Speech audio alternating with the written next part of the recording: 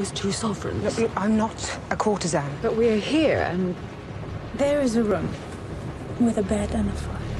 Now, this gentleman is a duke.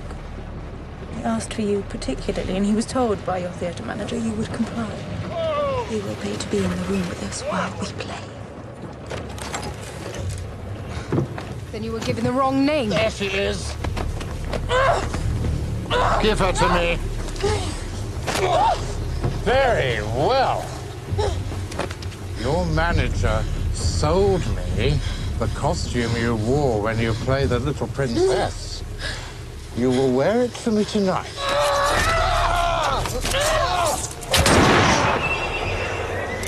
There appears to have been a misunderstanding. Somebody has given you the wrong name. I'm the fucking Duke of Richmond. That bitch is dead. That is on the gallows before Mass! Down there. Perhaps now you will listen to me. This diamond, this is yours. I have a man that will take you to Paris, and you will stay there till this business is done. You are a weakness.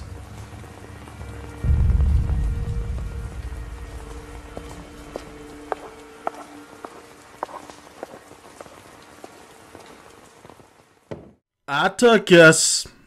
Atticus. So we're talking Taboo episode 3 and this is a much needed more oomph to this series. I thought this episode really showcased what this the potential that this season or the series was capable of and these interactions between James Delaney with all these characters but not only all these other characters but of his sister. Now that's one of the main points in this episode which I will get into. No spoilers just to let you guys know what I thought about overall this episode and what what happened. What I really liked about this episode was the interactions. I mean, it was James really contemplate like he already is make he makes a deal. He's like he makes a deal in this episode with the US, the United States because this dude got stabbed. And what I really liked about that was the fact that this guy is not immortal. He's off as a badass, but at the end he's still human and he still got stabbed and he still got the scar and the stitches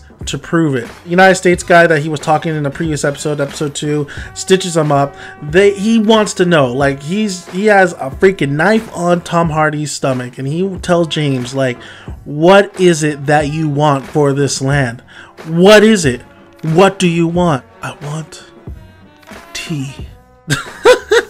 this guy wants tea. This guy wants tea, and he wants all the tea. That's that's that's what he wants. He wants he wants all the tea. He does a lot of things in this episode that really gives the United him some some. I mean, like very little, but some protection from the British, uh, the British men, the British Empire, the King, or whatever. Uh, they they can't kill this guy because he does something in this episode which is smart, cunning, and makes you really you just don't know. You still he's still a mystery. James Delaney is still a mystery, but we're starting to see who he kind of really is because he did bite a guy. He did a Rick Grimes last episode and bite a guy in the neck. What I really liked in this episode was the other character the newer character I said in last episode was the Madame, the widow, and I really, I think I'm really growing a little soft spot on the widow. She is entitled to a lot of James's property because of her relationship with his father, um, and which was interesting. What I really liked was his really thinking about his mother. I think that's the one thing that we need. We need something to really kind of connect with James. We need him to be very vulnerable, and he, we're sho- they're showcasing how vulnerable he could be. He could definitely be. He could say he has everything. Everything's like kind of going according to plan. He's doing a lot of things to get the ball moving to really stick it to the man. But the dude is still human. He's getting he's getting shanked. He's thinking about his mama. But with the widow, I really like her. Not for, I mean, she's stupid. She does a stupid thing in this episode where she doesn't listen.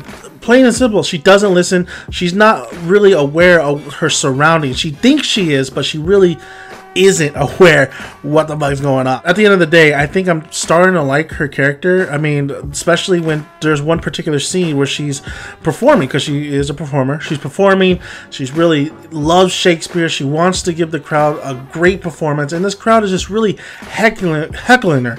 They're really going after and she's just yelling at the crowd like, "All you guys, if you're gonna want to wink it, go ahead and pull it off and wink It's like, oh, "Let me continue for us who like Shakespeare." And I really did like that line. I really did like that conflict that was going on in that particular scene. That scene was really well done. You kind of learn a little bit more about James's dark demons, little the little mystical kind of stuff, the paranormal kind of stuff, the the magical kind of stuff. We'll get into that a little bit more in this episode, which is, uh, I mean, don't ask for a lot because it's not gonna be a lot, but it's at least we're getting into what the fuck happened in Africa. What's going on with this guy? There's a great scene with him and his sister, and they're in the church, and like he because they've been writing back to back and forth like in the previous episodes, but they actually are in one scene in the church, and I thought that scene was very great, very powerful,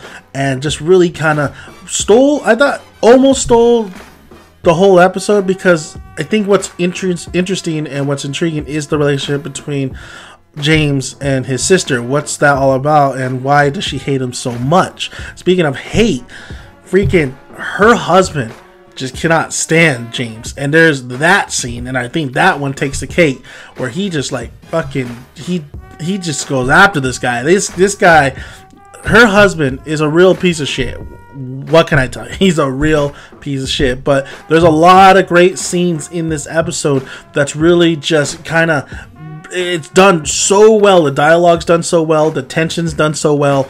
The interactions are just great, and the acting is really done so. The costume, the set designs, it really feels like you're in another world. It doesn't make me feel like I'm watching Tom Hardy in like a Mad Max film or this and that, just different time periods. It really feels like its own world, its own characters, its own situations. That's what I really like about this season, this series so far. Is it still is it getting better? I think it is getting better. I think it's getting a lot better. I don't think it's just boring and just him, what the, us confused all the time. I think now we're starting to open up. Now we're starting to see what this guy wants to do, what he's planning to do, and what he hopes to do. I thought it was the best episode so far of the series. I thought it was really great. I thought it was well done. I thought the direction was well done. Uh, I thought the acting was solid. So overall, great stuff. Love Taboo so far. Thank you guys for listening. If you haven't already, please subscribe to the channel. We really appreciate it. Like the video if you like it. Comment below. Love to hear your guys' thoughts. And you can watch Taboo on Tuesdays at FX, and that is a promotional plug, I guess. I'm Daddy Megan Dad's son.